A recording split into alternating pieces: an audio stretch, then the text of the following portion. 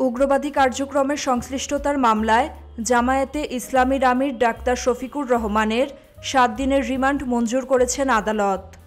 মঙ্গলবার Dhaka metropolitan magistrate Rajesh Chowdhury শুনানি শেষে রিমান্ডের এই আদেশ দেন।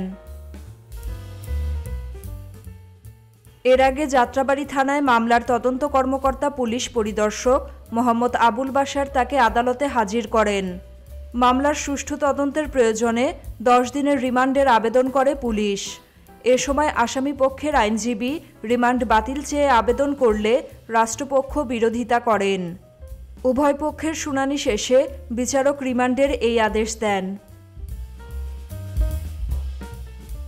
এর আগে সোমবার রাতে ঢাকা মহানগর পুলিশের counter terrorism and transnational crime unit তাকে ঢাকার বাসা থেকে গ্রেফতার করে। এ সময় দলটির পক্ষ থেকে জামায়াতে ইসলামী আমির ডাক্তার শফিকুর রহমানকে গোয়েন্দা পুলিশ পরিচয়ে তুলে নেয়ার অভিযোগ করা হয়।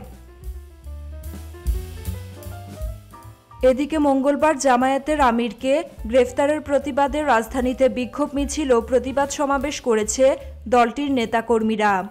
বিক্ষোভ মিছিলটি রাজধানীর মৌচাক মার্কেটের সামনে থেকে শুরু হয়ে মালিবাগ রেলগেটে প্রতিবাদ সমাবেশের মধ্য দিয়ে শেষ হয়।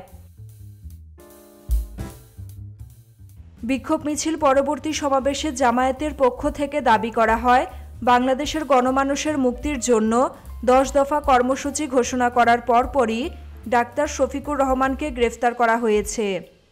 এ সময় গ্রেফতারের তীব্র নিন্দা ও প্রতিবাদ এবং অবিলম্বে তার মুক্তির দাবি জানানো হয়। এর আগে গত নয় নভেম্বর উগ্রবাদের সম্পৃক্ততার অভিযোগে ডাক্তার শফিকুরের ছেলে রাফাত সাদিক সাইফুল্লাহকে গ্রেফতার করে পুলিশ। উগ্রবাদের সংশ্লিষ্টতার অভিযোগের মামলায় তাকে গ্রেফতার করে সিটিটিসি। একই মামলায় ডাক্তার শফিকুরকেও গ্রেফতার করেছে পুলিশের এই বিশেষ ইউনিট।